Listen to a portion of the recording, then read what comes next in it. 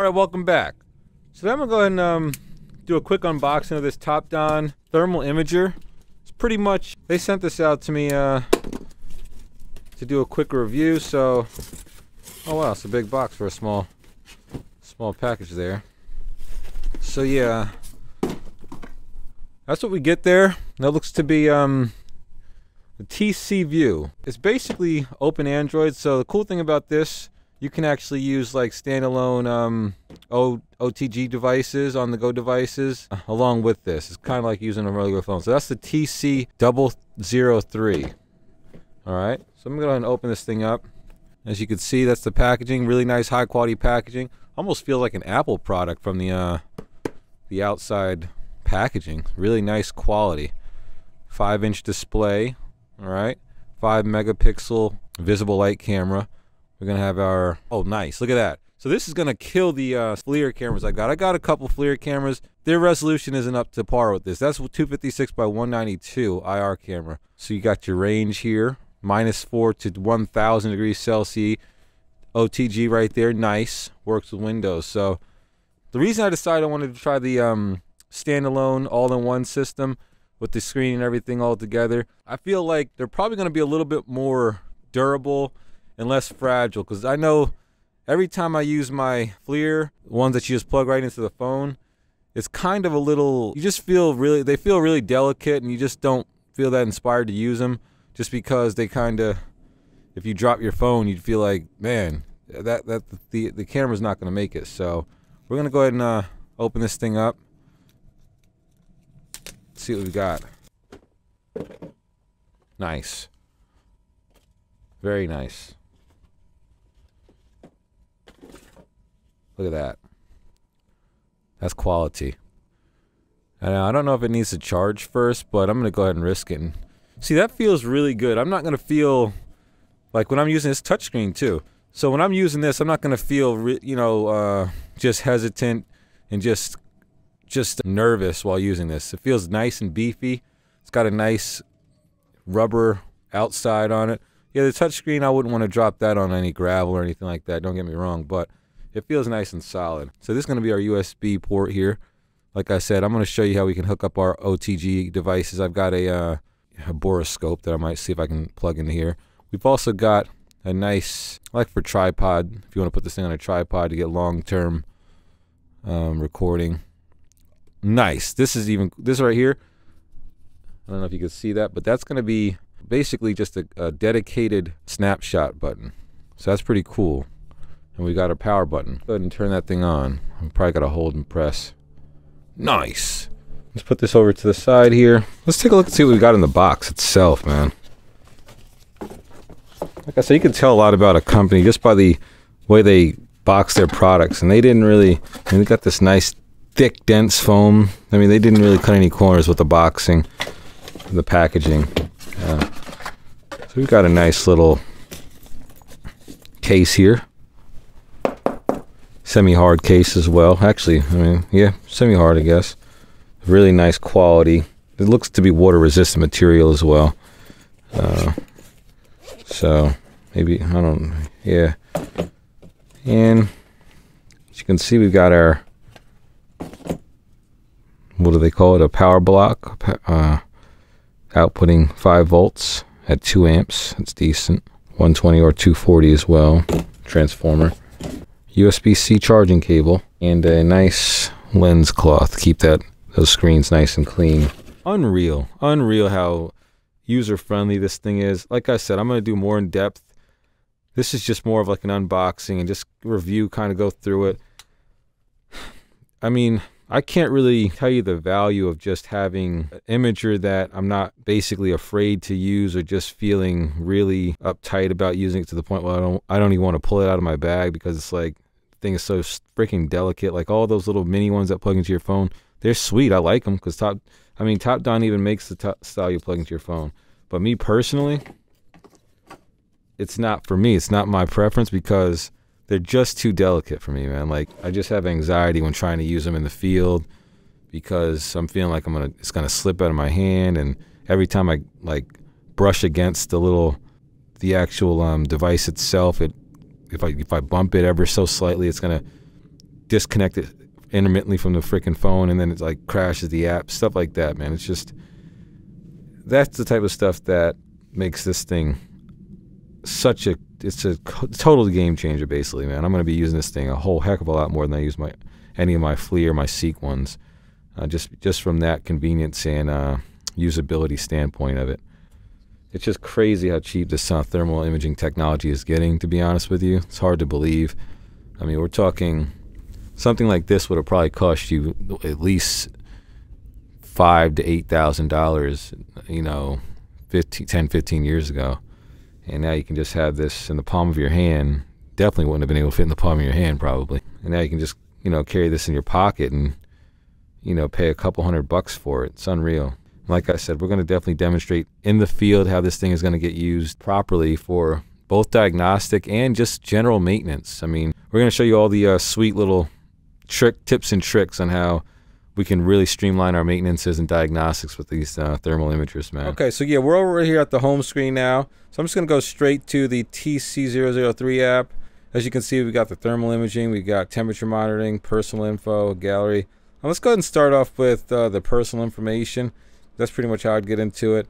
If you go to settings here, you can see you can actually do some temperature correction here, spot the distance, basically the spot correction and uh, emissivity. And the emissivity is just like the reflectivity of the object. Your distance to spot is going to be how far away the uh, your your subject that you're trying to capture, and then your temperature, your ambient temperature is just the temperature of the air around you. So those um, settings will basically give you the most accuracy possible.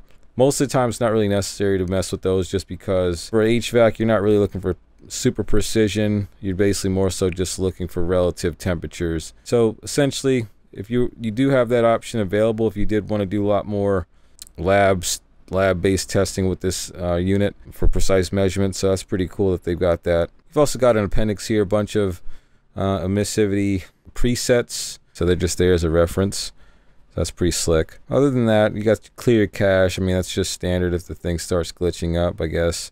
Software bugs and things like that. You'd like to keep that cache clear automatic shutdown. I think, yeah, you do want that active. I like to have that on just so I'm saving battery.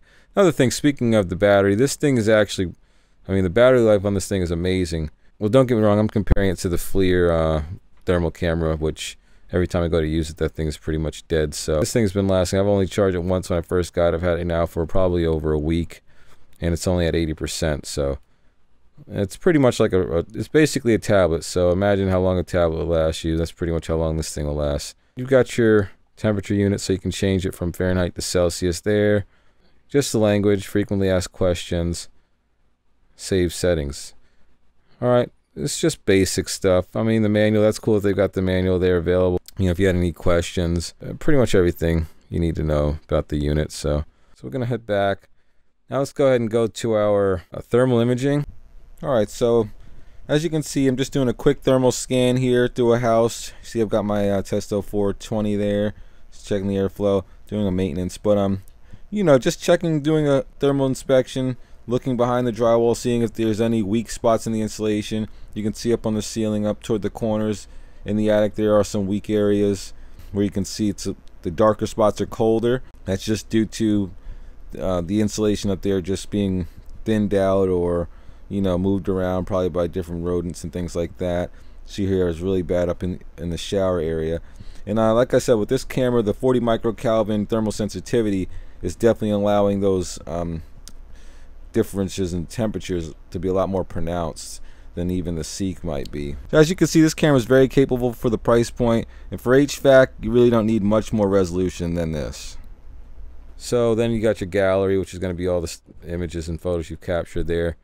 All right, so boom. Now we've got that. Let's go back here. We've got the visual image camera here. You already know what that's about. Files, that's nothing crazy. Clock, that's cool. Video player, music player here. Sound recorder, that's pretty sweet. Calculator. And like I said, you got the full-on browser. So anything you want to search, you can search that. No problem. You can pretty much download third-party apps on here as well which I thought was really sweet. It's uh, this thing supports OTG devices, basically just like a standard Android tablet. So that's pretty much it with that. Okay, so as you can see, we are taking a look at the engine compartment here. We just got them come back from a little drive. As you can see, we've got the hottest point, the coldest point being registered. And as you can see, the resolution is out of this world. And what I'm going to do is take a look at the difference with my Seek Compact Pro. So yeah, you can see with the Seek as it's it's it's not that great as far as the aspect ratio. It's just really pulled in, really close to the subject. Where in which the Topdon it's definitely got a lot more, it's just showing a lot more of what you're viewing. Not to mention, it's got more clarity, uh, def definition between hot and cold spots. As you can see with the Seek Compact Pro, it just blows out on the really hot spots. Um, we'll come around to the side on the brakes. I know everyone likes to see hot brakes with thermal imagers. Okay, so right off the bat, um, I was noticing the Seek does seem to have a bit more uh, noise or graininess to the image. I'm not sure what that's about even more grainy than the FLIR One Pro, and the FLIR One Pro is definitely a lower resolution camera. So I think it's to do with that thermal sensitivity that gets that graininess out of the image. You can see the Topdon is definitely the clearest of them all. Another thing I wanted to mention with the Topdon is the image style. So you can take a look here. We've got dual light. Look at this overlay. You're gonna like this. Boom. So yeah, this is a bit different than the FLIR MSX technology because it's actually overlaying not just like a a trace of the um, visible light camera, but it's the actual visible light camera being overlaid there uh, with just a you know an opacity, slight opacity adjustment there. Now, if you want to do dual light, watch this. Click that. Now that's going to be the trace of the actual visible light, kind of like FLIR's MSX. You see, it's uh, you need to line it up. So I hit calibrate. And um, you can see I'm just going to go ahead and line these hoses up. Boink. Oh, boink. Right there, like such. And now that's all lined up as far as your parallax there. And it looks amazing. Now you can do visible light. That's how that looks. I mean, that's it's able to pull that. It's able to pull that much of a good overlay from just this very rough, shadowy visible light image here. So the better your lighting, the better that's going to look. Let me see if I can get the light in a more reasonable, especially where it's not washed out. That's better. So just hit dual light now. Here you go. Much better. Much, much better. Okay, so if you look to the right here, um, you can see the FLIR One Pro. So you notice it's a really dark environment, so you see a lot of noise, uh, I guess from the high ISO adjustment. I'm not sure why that comes through on the MSX image. The Topdon has a much cleaner fusion image than FLIR. Don't get me wrong, when you have FLIR in quality highlight environments, it will have a much better fusion look to it. Hit back here. Let's go to temperature monitoring. I'm gonna go ahead and hit real time, generate image. And now what you want to do, you can literally generate the style you want. So I'm gonna hit a, I'm gonna just hit line, and then confirm. Select the place here. Now watch. I'm gonna just select. Let's just select across that situation. Now you can see it's literally monitoring everything, high and low points on that line, right? If I move the line, it will adjust the high and low points accordingly. Cool thing about it is check this out. Let that thing buffer. It will also graph your trend, your trending. So watch when I move it. It's going to move it up. It's a greater differential. So super powerful, man. So the thing about these thermal imagers is sometimes the base specs could be deceiving. So if you look at the Seek on paper, just on the baseline specs by the uh, resolution of the thermal uh, camera itself, you would think it's a lot better image clarity, a lot better camera. Which, don't get me wrong, the Seek is no slouch. It looks pretty good, even in comparison to the TC003. But where the 003 shines is where that thermal sensitivity. If you're trying to see like really small temperature differentials, the Topdon is going to definitely beat out the the FLIR, uh, the Seek and the FLIR, uh, just due to the um, what they call thermal sensitivity, and that's measured in microkelvin. So if you look at the FLIR and the Seek, the, the, the FLIR's got 70 microkelvin, and the Seek has got 75 microkelvin, even worse than the FLIR. Seek is trying to compensate with a little bit high resolution, but it really it really shows if you're looking at houses, if you're seeing the studs behind the walls, things like that the Seek's not going to pick up those studs as well as the the Topdon or even the FLIR. The FLIR definitely isn't as good as the Topdon. And if you see a lot of people on forums and things like that talking about uh, why these cameras are toys, why they think the non-handheld uh, thermal cameras or anything under $5,000 as a toy, it's usually based around that thermal sensitivity. When you're above that 50 microkelvin range, you're you're not really I mean, it's pretty it's still a pretty cool tool. It's still usable, but it's not capturing as well as it should be. It's not capturing the the, the to the sensitivity that um, the higher quality ones do. And as you see, the Topdon TC003, and I think all their uh, thermal imagers are going to be 40 microkelvin, which is pretty pretty impressive. Remember, the lower the number, the better the sensitivity is. So, like I said, you've got 75 for the Seek, 40 for the Topdon. And uh, the picture shows Topdon is lower resolution, but it still looks better to the naked eye.